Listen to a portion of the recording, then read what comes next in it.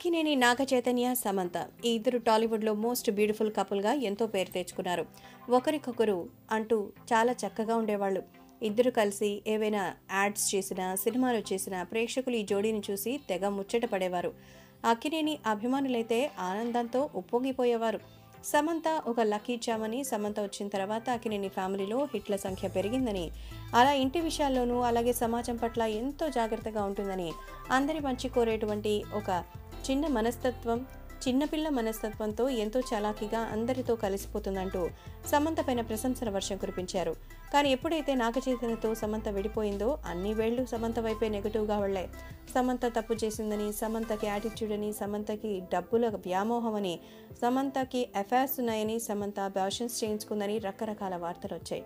ఇన్ని వచ్చినా సమంతని ప్రేమించి పెళ్ళి చేసుకున్న భర్త కానీ అటు ఆమె తన కూతురు లాంటిదన్న అక్కినేని ఫ్యామిలీ కానీ ఎవరూ డిఫైన్ చేయలేదు. సమంత ఒంటరి పోరాటం చేసింది. విసిగిపోయి తన సినిమాలు చేసుకుంటూ ఆ సినిమాల ద్వారానే తన ఎంటర్టైన్మెంట్ని తన కోపాన్ని చల్లార్చుకుంటోంది. ప్రస్తుతం ఆమె గోవా వెళ్ళి న్యూ ఇయర్ సెలబ్రేషన్స్ తన ఫ్రెండ్స్తో ఎంజాయ్ చేస్తోంది.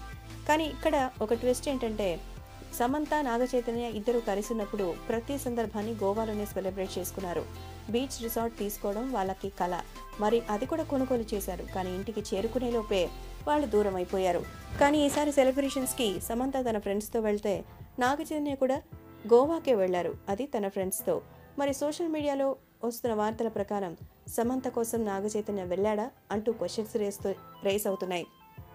వాళ్ళిద్దరూ కలిసి ఉండాలనుకుంటే వాళ్ళని ఆపేవాళ్ళు ఎవరూ లేరు. కానీ ఇలా ఇద్దరు ఒకే చోట ఉండడం కలవాలనుకోకపోవడం నిజంగా దురదృష్టమో. లేకపోతే విధిరాతో అర్థం కావడం లేదు. కలిస్తే బాగుంటుంది కదా?